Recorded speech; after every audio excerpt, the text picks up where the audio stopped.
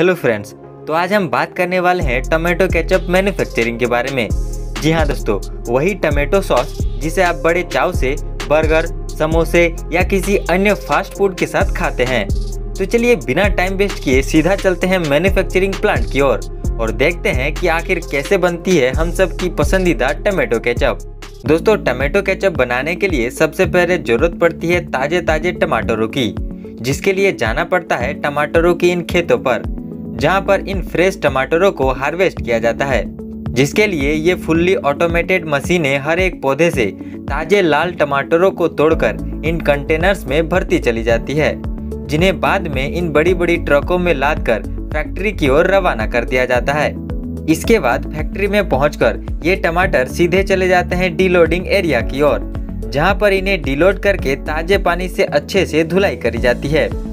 इसके बाद जब ये टमाटर अच्छे से साफ़ हो जाती है तो इन्हें कन्वेयर बेल्ट के ज़रिए इस अद्भुत मशीन से होकर गुजारा जाता है।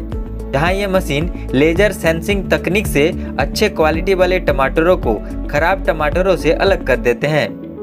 दोस्तों आपको बता दें कि ऐसा करना बेहद ही ज़रूरी होता है ताकि अच्छे क्वालिटी के टमाटो केचप तैयार किया जा सके। वेल well, अब दोस्तों शुरू होता है टमाटो केचप बनाने की असली प्रोसेस जहाँ इन सारे टमाटरों को इस हीट प्रेशराइजिंग मशीन में डालकर उबाला जाता है। ये मशीन टमाटरों को गर्मी से लगभग गला ही देती है। इसके बाद एक दूसरी मशीन इन टमाटरों को कुचलकर इनकी चटनी बना देती है। मगर ये प्रोसेस यहीं खत्म नहीं होता।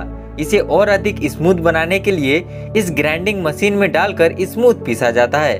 अब आगे चलकर इन्हें कंसंट्रेट करने के लिए एक बॉयलर में हीट किया जाता है। जहाँ हीटिंग के चलते इससे ऑलमोस्ट 80 परसेंट पानी हवा में भाप बनकर उड़ जाते हैं और बाकी 20 परसेंट बचता है हमारा प्योर टमाटो केचप जिसमें की बेहतरीन रंगत और लंबे समय तक ताज़ा रखने के लिए तमाम तरह के प्रिजर्वेटिव्स और कलरिंग एजेंट्स को भी ऐड किया जाता है।